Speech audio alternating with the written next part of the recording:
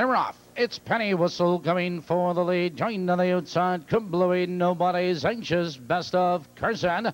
Into the turn they roll, and Penny Whistle powers into a two-length lead. It's nobody's anxious second. Kablooey parked under urging third. Here comes Ali Frisco, parked on the outside, followed on the inside. Best of Carson. It's paperback romance, Quirky's anxiety, An ancient law. Your leader by the quarter, Penny Whistle. Here comes Kablooey on the attack. Here comes Ali Frisco. 29 and 1 the quarter. It's Kablooey now to take command, but Ellie Frisco was third, moving second on the outside. Ellie Frisco under urging now to challenge and take command. It's Kablooey second. It's Penny Whistle right there, third, followed by Nobody's Anxious, followed by Best of Carson to the outside, approaching the half mile marker. It's Ellie Frisco, two lengths, Kablooey. He's second, followed by Penny Whistle in third. They're halfway home.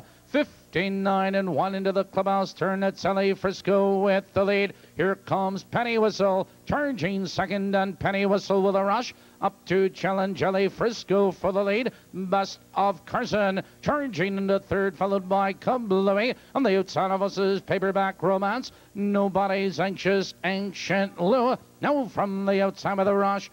Penny Whistle powers on by. They're moving by three quarters, 129 and 2. And Penny Whistle opens up the lead now with every stride. It's best of Carson on the outside, second Ellie Frisco. Between horses, nobody's anxious. Ancient Lou. They're moving to the top of the stretch, and Penny Whistle is all by herself. Here they come then down the stretch. It's Penny Whistle with the lead. A late move on the outside by Best of Carson at Nobody's Anxious. Penny Whistle is all alone at the wire. A battle for second.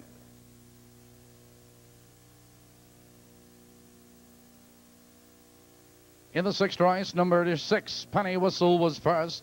$46.40, 46.40 on the 6-2 Perfecta.